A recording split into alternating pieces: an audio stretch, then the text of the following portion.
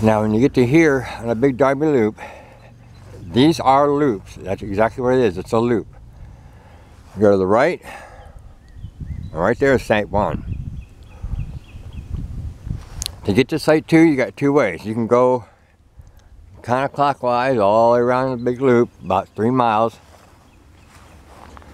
Or you can do a quick way and go this way to your left and don't go around the curve down there, but you'll see on your left side where the trail goes up into the woods. You go that way. You're gonna climb the little hill and site two is basically right up there, real quick. So it depends on how quick you want to get to site two if you got site two reserved. Um, but this is a big loop. If you go this way, counterclockwise, and want to do the whole thing to get to site two, so you can do some backpacking. It's, like I say, it's about three miles. But it's, it's a nice little hike.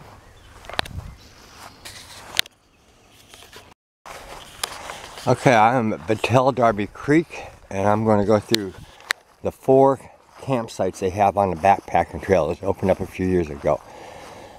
Site one and two are on the Big Darby Loop, and sites three and four are on the Little Darby Loop. Ah, I see some deer down there. See something moving. Alright, site one site to get to. If you do not like heavy backpacking through the woods, site one is the site to get because it's only a few hundred miles from the road. Uh, and it's right here on the trail. Like I said, this is site one. You got a picnic table. You got a pit. And site one is also near the water. So if you want to do some type of water filtration or you need water for whatever reason, you are near the water. You even got this little area right here. If you want to set your tent up back here, you can do that and give you a little bit more privacy from those on the trail. And the river is right through here. I'm not going to walk on down through there because this looks like it's a muddy mess. But you can get to the river down through here and it's just right over there. Is the river. Big Darby Creek.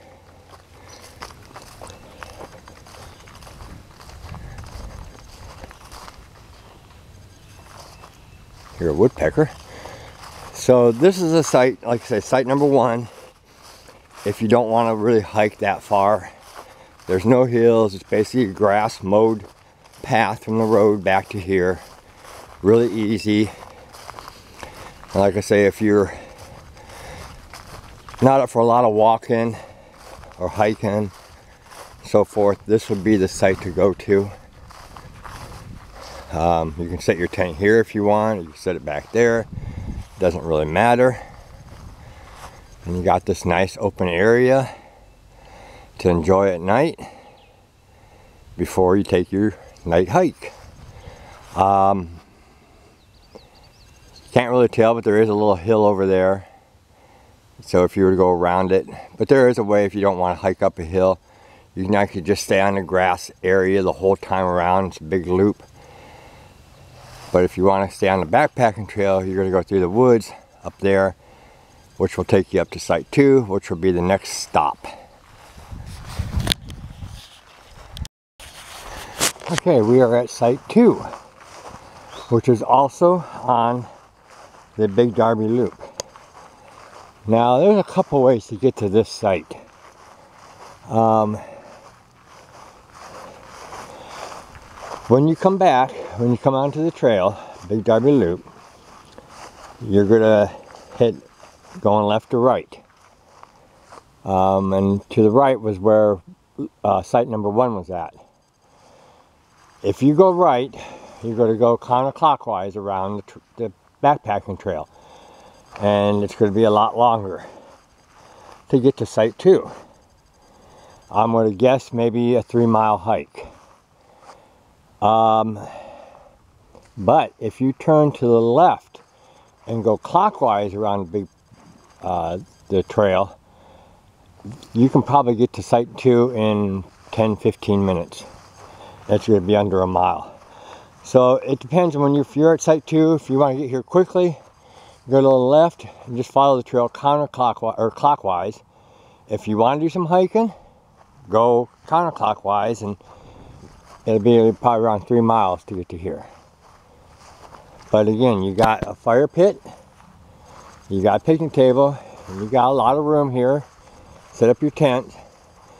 You got a lot of open area here to play in. Well, you do on white site one too. Site one also. And actually, you can go that way and they'll take you out to, um, I can't think of the name of the road. It's just right over there, probably one, 200 yards. Uh, but site two is really cool. It's a nice little site. You've got room if you want to play some games with your kids, your family, you know, whatever. But then there's one little added bonus to site two. Uh, let's see if I can find a quick way to get to it. You have some neighbors. You used be able to get through here. Well, let's go around this way.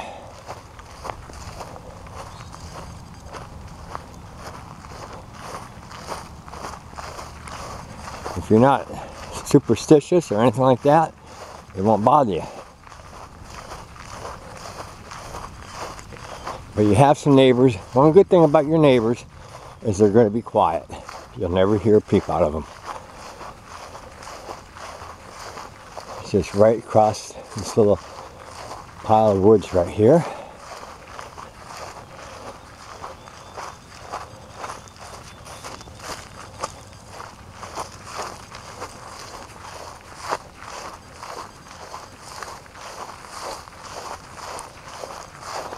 If you come in here and you go clockwise, you get here quicker, you gotta come up right here. But, here are your neighbors.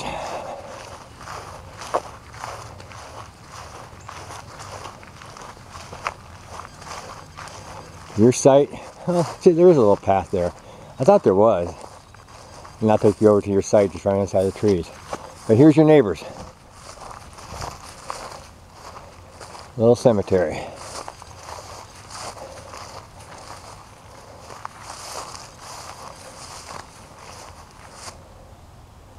So that is site number two. Now site number three and four are over on the Little Darby Loop.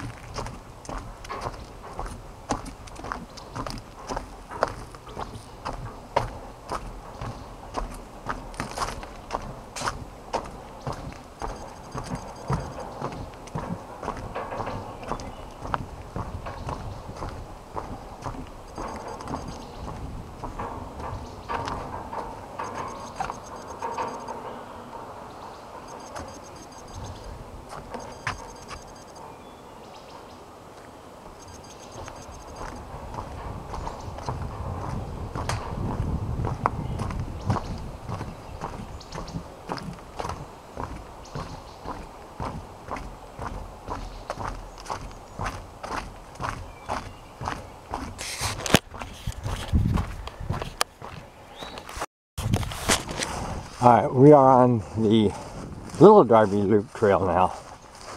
And this is where you come in after you hike back the trail. This used to be a Boy Scout camp.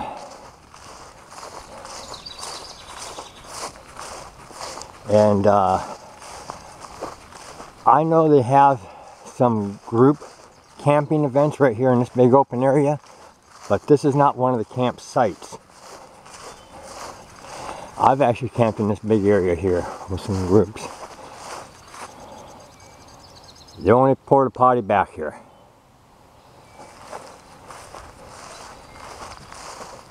It has its pit, fire pit. Got a few benches, a few tables, work on, prepare your meals. There's a little Darby over there. Got this pavilion here. That's another little grill. Some picnic tables.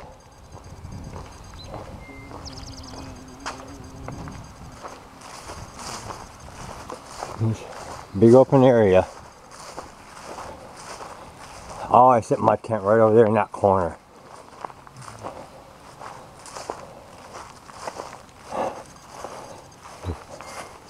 No wood. Looks like somebody left a tent too.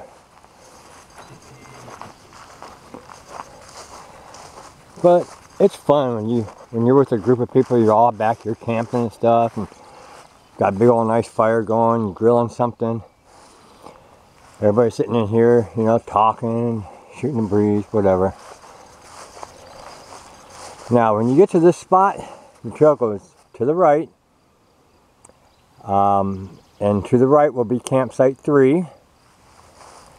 Again, if you want to do a longer route to get to campsite four, or you can go to the left, and that'll take you a quicker shot to campsite four. So, four is to the left, and three is to the right. Though you can go the opposite direction and still get to either one. It's a, it's actually a double loop here. You got a loop here, and then they sort of come together over there, and you cross a little stream, and then there's another loop over there, and that's where campsite four is at. So these are, in a, in a way, it's a loop, but it's two, two loops together. So pick your choice on where you want to go. Three to the right, four to the left. We're going to go down here three first. My concern is it's starting to get late, and I don't know if people are starting to come in for the night, and I don't want to interrupt anybody. So we're gonna walk on down here. Most of this loop, 95% of it is grass. When you go onto the other loop over there where Site 4 is at, most of that, I'd say about 65% of that is grass. All right, the trail actually goes that way, continues on around the loop. But this here is the way back to Site 3. Site 3, is, I've camped at this site and I like it. It's nice, it's back away from the trail, privacy, it's, and it's big. And this is the one to go to, Site 3, if you have hammocks. This is the only one that has a hammock set up. And you're right by the water, the little garden. So if you have hammocks, come to site three. Now I will say if you're not experienced in backpacking, if you're new and you're not really seasoned yet in carrying packs, you may not want to come to three or four because those two do require a little bit of walking.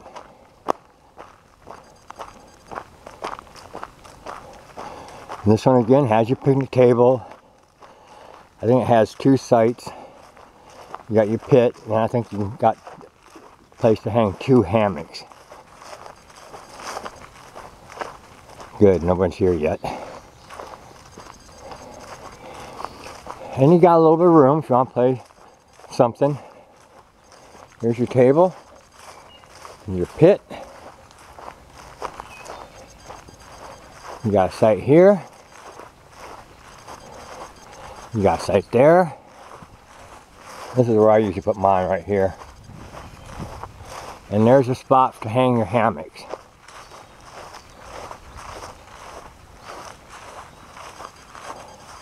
So, like I said, if you have hammocks, select site number three. And I say you got a lot of room here. Right here's access to the to the creek.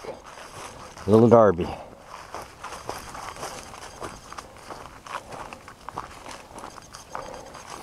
You go swimming, get water, whatever you want to do. It's right here.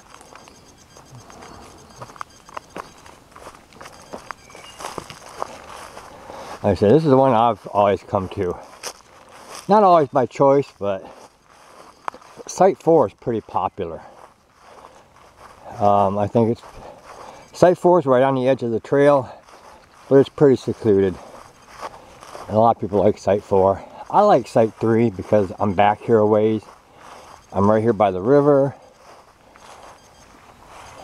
Got a lot of space.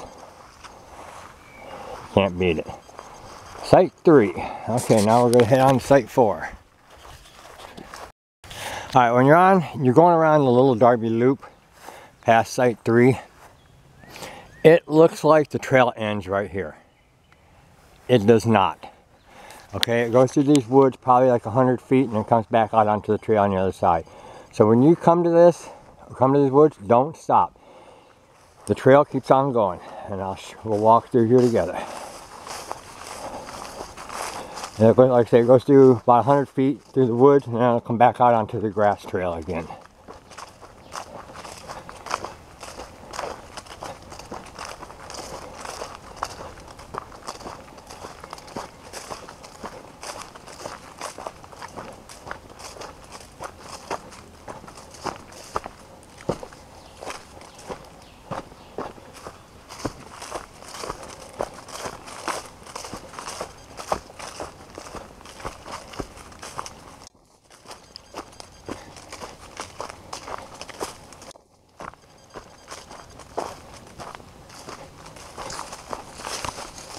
See, and here we are.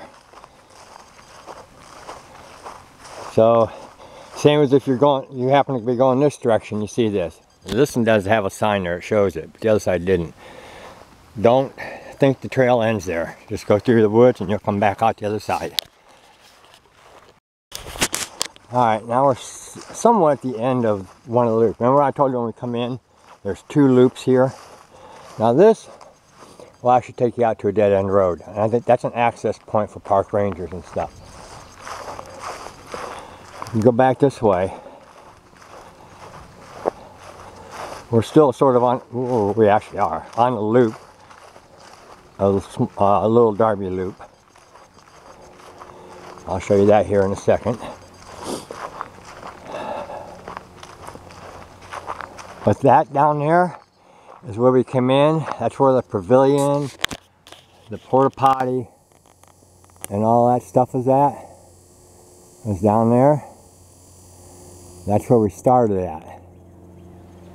That's where we come in. That's where I told you to go right to site three, go left to site four. Now if you went left to site four, you would have come down this way and this is where you would be at now.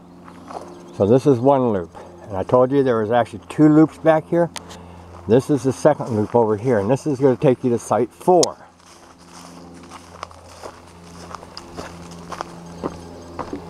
See, there's a little stream I told you you would cross.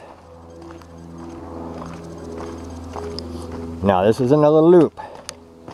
Now, you can go left or you can go right. Right's going to be mostly grass. Left is going to be mostly woods. If you want to get to site 4 quick, go to the left. It's not real quick, but it's quicker than if you went to the right. So the choice is yours. Right, a little longer and probably easier. Left, a little quicker and a little more rugged. We're going to go to the left because I want to get to it as soon as possible because it's getting to where people are going to be coming out here for the night. And I want to get there before somebody you know, sets up camp and then I won't be able to videotape. So now we're heading to site four. Okay, now we're at site number four. Um, show you where it is from the trail. The trail is right here. Okay, this is a trail. So it's fairly close. But this is actually the most popular site. It goes fast. Somebody will be here tonight, guarantee it if you want site 4 you got to definitely book early. Because this seems to be the most popular site. It is also the furthest site from the parking lot. So remember if you're coming here you're going to walk the furthest to site 4 again you got a pit. You got a table which is chained up. And you got two sites here not a lot of playing room. It's probably the smallest of the sites as far as space. But again, it's the most popular site. it books faster than I think any of the other ones. Every time I try to get this one, it's always full. Uh, so I, that's why I'm always at three. Three books fast too. But this is site four. I said two two uh, uh, spots. Picnic table, fire pit, um, trails just right over there. It's not that close to the river, but you can probably walk, and I'd say the river's probably maybe 100 yards over that way. I'm just guessing. So it's not on the edge of the river. So if you want water, bring water with you unless you want to trek down to the river. So this is site number four. And that's all the sites. Four sites at Battelle Darby Creek backpacking uh, camping sites. If you want to book, you got to reserve them. You can't just come out here. You must reserve them. Go on their website, backpacking, and reserve the site. They are free, but they are first come, first serve. So if you know a date that you want one, get them early. Uh, unless they change it this year, they are open seven nights a week versus the ones at Scioto Grove, I think are only open on Fridays, Saturdays, and maybe Sundays, only on weekends. But these here, as of last year, they were open every night of the week. So you may have a chance of getting one during a weeknight, easier than a weekend. But there's nobody here yet. I'm not sure, I can't remember what time check-in time is. But I guarantee somebody will be here. So those are the four sites. So we're going to continue on around this loop and head on back out.